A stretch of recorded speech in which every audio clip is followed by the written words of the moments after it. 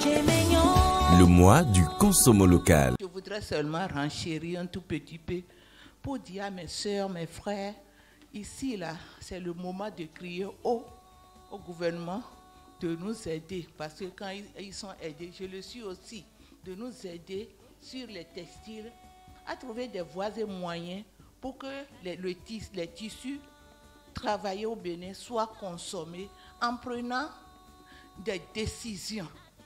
Par exemple, dans les lycées, dans les CEG, dans les maternelles et autres là, si le gouvernement peut introduire au moins le haut sur les kakis, et le kaki qui n'est même pas consommé, et fabriqué au Bénin, sur le kaki, on insiste que ça soit le, le- du consommant local en haut.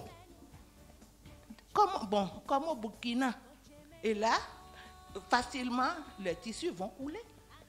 Ils, seront consommés, habillés, et nous allons apprendre, nous allons apprendre aux enfants dès leur naissance à la maternelle de com- commencer par consommer les produits locaux.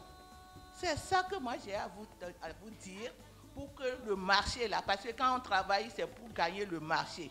Et quand vous n'avez pas les sources d'écoulement, vous ne pouvez rien, vous, vous êtes bloqué. Aidez-nous.